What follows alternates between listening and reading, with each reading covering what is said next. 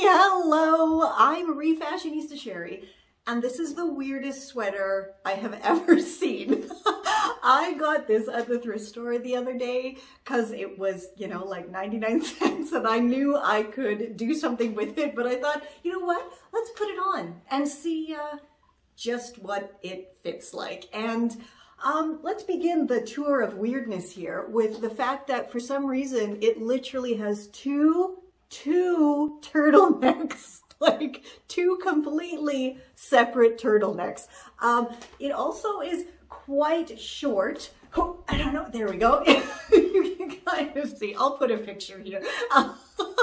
and um, yeah, so it could only be worn with my super cool though 80s high-waisted jeans. And then we come to this part. Um, this is like, I don't know, some kind of strange detail. It You can see it doesn't go all the way around. It's just like attached on the shoulder and the sides and has like a weird twist in it. And um, my kiddo actually said, hey, it's a boob warmer, which is pretty darn hilarious.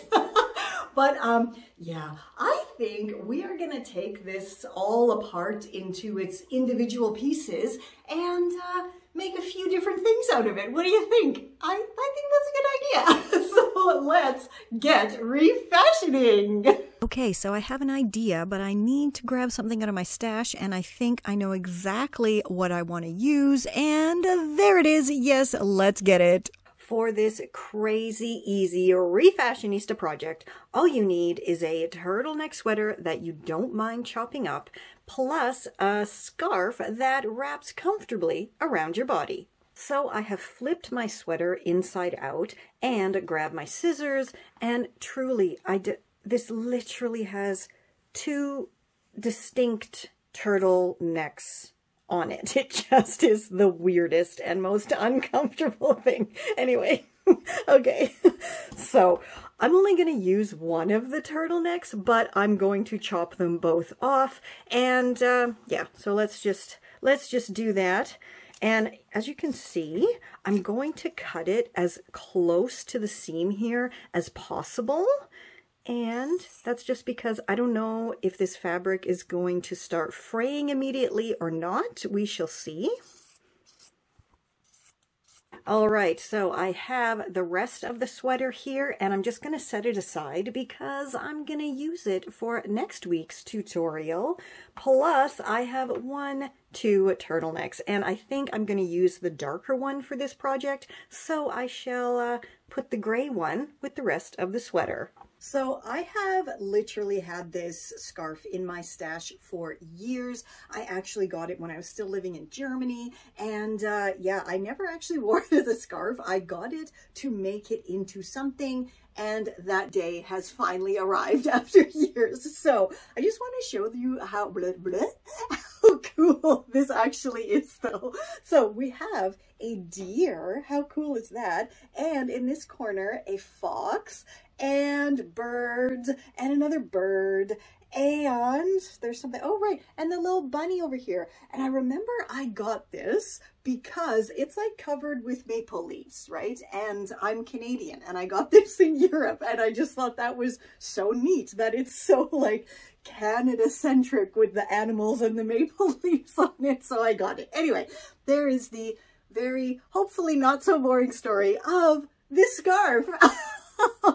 I don't know about you, but I really enjoy hearing the kind of history behind items. And again, that's why I love using items from the thrift store because not only is it, you know, good for the environment and sustainable, but everything has a story behind it. Even if you have to make it up yourself, you know, there's always a story there. anyway, okay, so because I think I want to have my cute little foxy in the front, I'm going to fold it like as a triangle, kind of like so. Yeah, so there we go. And then when I pop this on, this part here is going to, you know, hang down kind of over my arms. And yeah, isn't that cute? That's cute. But I mean, because we're making a poncho, it's you know, you can kind of wear it however you want to wear it once it's done. But I think that's going to be the cutest. So we're going to fold this, as I said, into a triangular shape as evenly-ish as, as possible. And then we're gonna do, ooh, there we go. Then we're gonna fold it again. And then we have this lovely corner here. And now let's go over to the table and create our uh, head hole. So I have my scarf folded twice. You can see here one fold and then the other. And hilariously, the eye of the deer here is at the top of the kind of triangle. Um, yeah, so anyone who believes in conspiracy theories, come on down. That's a terrible joke. Anyway, um, so now I am just going to, I'm just going to take my turtleneck and I'm going to fold it in half once and then try to use the edge here to kind of measure the width of the neck hole that I'm going to need to attach my turtleneck. And I think I'm going to go a little bit smaller than the width of the folded turtleneck here. And um, yeah, let's just chop that off. Okay, so I have opened this up and I'm just going to go from one side and try to kind of fold that around. That looks that looks perfect. But you know what? I gotta put it over my head to make sure I can get it on and off over my head. Alrighty, I can get it on over my head and you can see here that when I pulled it on and off, it just started fraying. So let's get sewing quickly. Now I have it laying with the right side facing down and I have my turtleneck inside out. And I'm going to put the turtleneck inside the hole, like just super easy, and line up the raw edges.